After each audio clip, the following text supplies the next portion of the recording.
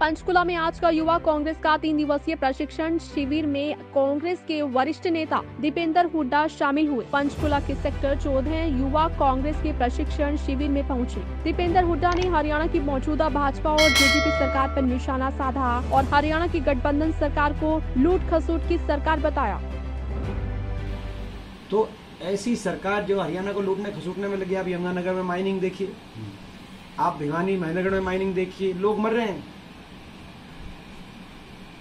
गरीब आदमी, मजदूर, अवैध खनन के, पाप के पहाड़ों के तले दब के मर रहा है।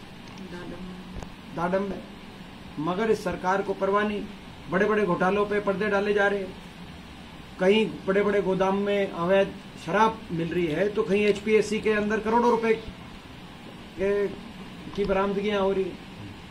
तो ऐसी सरकार जिसने हरियाणा को पटरी से उतार दिया हो, ऐसी सरकार जिसमें हरियाणा बेरोजगारी में नंबर एक पहुँच गया हो, महँगाई में आज हरियाणा की जनता महँगाई से त्रस्त हो, हर वर्ग का तिरस्कार जिस सरकार में हुआ हो, किसान से लेकर आंगनवाड़ी और आशा बहनों तक का, पे पुलिस का, बल का प्रयोग का, देश में नाम हरियाणा सरकार का सबसे पहले आया हो।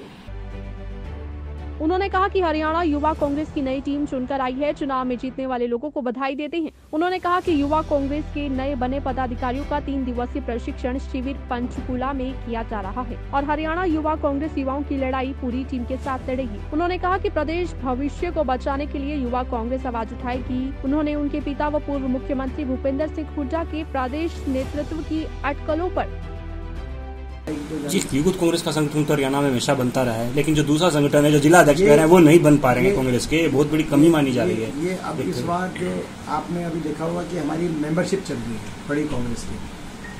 और जिसमें ऑनलाइन मेंबरशिप को भी खास जो काफ़ी तवज्जो दी, दिया गया है। तो ये एक सकारात्मक बात है मेंबरशिप बन रही है जो चल रही है। उसमें लोग अपना अपने योगदान दे रहे हैं और मैं आमंत्रित करता हूँ सभी को कि कांग्रेस की भर्ती में मेंबरशिप में लोग आगे आगे आए। कांग्रेस एक सकारात्मक विकल्प अगर हरियाणा में कोई दे सकता है तो हुडा साहब के नेतृत्व में कांग्रेस पार्टी दे सकती है, ये मेरा मानना है। और प्रदेश के लोगों का भी मानना है। तो आज कांग्रेस की भर्ती में आप मजबूती से अपना जो है, कांग्रेस में शामिल हों और मेंबरशिप ड्राइव में शामिल हो। सभी को मैं आपके माध्यम से और उसी भर्ती की प्रक्रिया के अनुसार जो है, जो संगठन आप बता रहे हैं, वो हमारी पार्टी का संगठनात्मक एक कैलेंडर जारी हो चुका है। जो हमारे जो पीआरओ थे पी हैं, ताराचंद भगोरा जी, वो आए थे, उन्होंने उसकी जानकारी दी थी।